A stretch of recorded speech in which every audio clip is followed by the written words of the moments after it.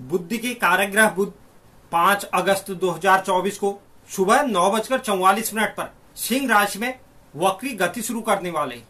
बुद्ध का सिंह राशि में वक्री होना हमारी बारह राशि पर किस प्रकार के प्रभाव डालेगा? और इन्हें इस समय अवधि में किन किन क्षेत्रों में सावधानी बरतनी चाहिए?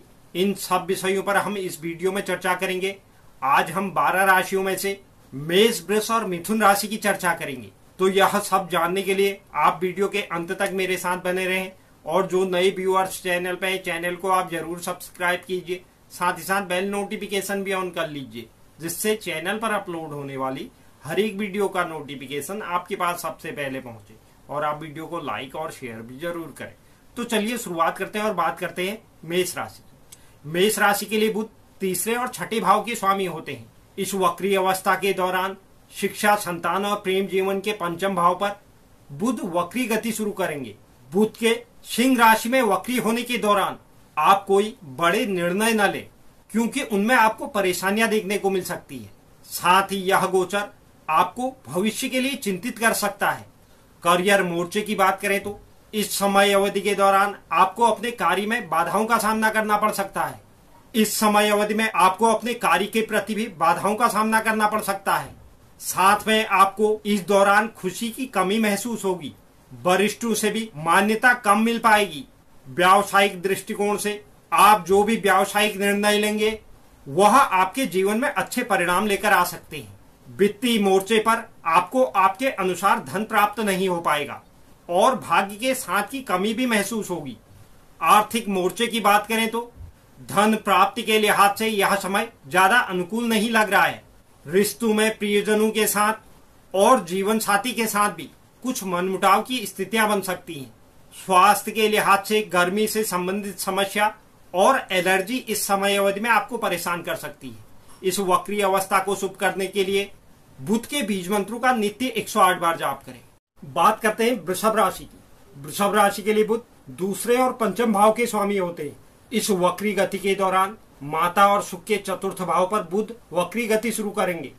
बुध के इस वक्री गति के दौरान आपको पारिवारिक समस्याओं और सुख सुविधाओं की हानि उठानी पड़ सकती है। इसके अलावा बुध के सिंह राशि में वक्री होने के दौरान आपके जीवन में खर्चों में भी बढ़ोतरी देखी जाएगी। करियर मोर्चे पर आपको काम में घरेलू समस्याओं का सामना करना पड़ेगा। साथ ही वरिष्ठों के साथ सामंजस्य भी कम रहने वाला है, जिसके कारण गलतियाँ होने की संभावनाएँ बन रही है। इसलिए इस क्षेत्र में भी आपको विशेष रूप से ध्यान देना है। व्यावसायिक मोर्चे पर यह वक्री अवस्था आपके लिए मिली जुली रहेगी, क्योंकि इस समय अवधि में कभी आपको लाभ तो कभी हानि उठानी पड़ेगी। आर्थिक तौर पर आपके खर्च ज़्यादा रहेंगे। यह आपके लिए परेशानी का विषय बन सकता है। इसलिए बजट बनाकर चले और धन बचत करने की कोशिश करें। रिश्ते में जीवन साथी के साथ बहस या गलतियाँ होने की संभावनाएँ बन रही है। जिसके कारण रिश्ते में दरार बन सकती है। इसलिए आपको सामंजस्य बैठाने की कोशिश करनी होगी। स्वास्थ्य के लिहाज से बुखार और एलर्जी की समस्या आपको परेशान कर सकती है। इस गोचर काल को शुभ करने के लिए हरी चीज़ों का बुधवार के दिन दान करें। बात करते हैं मिथुन राशि मिथुन राशि के लिए बुध पहले और चतुर्थ भाव के स्वामी होते हैं। इस गोचर काल की अवधि में बुध आपके छोटे भाई बहन पराक्रम के तृतीय भाव पर वक्री गति शुरू करेंगे। बुध का सिंह राशि में वक्री होना आपको अपने प्रयासों में विकास देगा। परिवार में भी खुशियाँ आएँगी। करियर मोर्चे पर आपको ऑन साइट नए अवसर और उसी के संबंध में यात्रा करने का मौका मिल सकता है। इस समय अवधि में आप अपने परिवार के साथ यात्रा पर जा सकते हैं। व्यावसायिक मोर्चे पर भी आपके लिए मुनाफे की स्थिति बनेगी। ऐसी संभावनाएँ इस समय अवधि में आपके जीवन में ज़्यादा रहेंगी। आर्थिक क्षेत्र में आप अच्छी कमाई के साथ साथ अच्छी बचत भी कर पाएँगे। धन प्राप्ति के संबंध में भी यात्राएँ आपके जीवन में हो सकती हैं। जीवन साथी के साथ आप सुखद फलों का आनंद लेंगे। स्वास्थ्य के तौर पर भी यह वक्री अवस्था आपके लिए अनुकूल साबित होगी। हालाँकि इस समय अवधि में थोड़ी असुरक्षा की भावना आप महसूस कर सकते हैं।